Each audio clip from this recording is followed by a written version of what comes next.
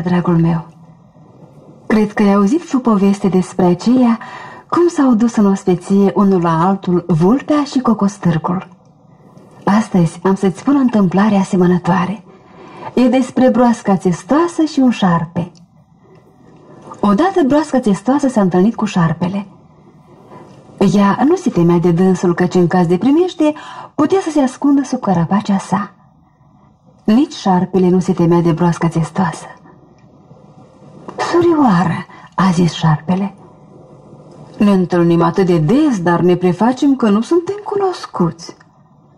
Poate că te-a obișnuit cineva dintre rudele mele. Nu, a răspuns broasca testoasă, și drept dovadă te invit în ospeție. În ziua stabilită, șarpele venit râș la broasca testoasă. În mijlocul colivei se afla de acum o farfurie cu cele mai alese gustări.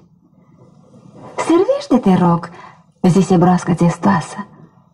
După obișnuință, ea se urcă în farfurie, acoperind-o în întregime.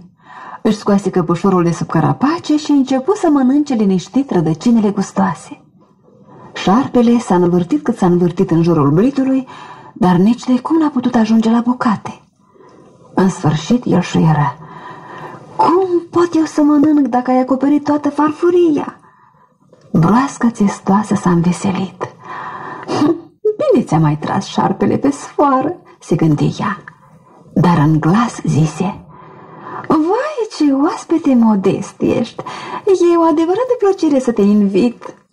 După câteva zile, șarpele întâlni broasca țestoasă și zise, Te invit și eu în ospeție. Vino de seară la mine, vom cina împreună. Seara se târâ broasca țestoasă la șarpe și văzu o farfurie plină cu bunătățuri. Dar șarpele se făcute colac deasupra ei, acoperind-o toată. Ei, ascultă, cum să mănânc dacă tu ai acoperit toată farfuria?" se revoltă broasca țestoasă. Vai, răspunse șarpele, eu am vrut să te primesc tot atât de binevoitor ca și tine. Hm? ci că de atunci șarpele și broasca țestoasă nu se mai duc unul la altul în ospeție, deși sunt vecini. Aici povestea i-a sfârșit, dar e târziu și trebuie să dormi. Noapte bună! Noapte bună!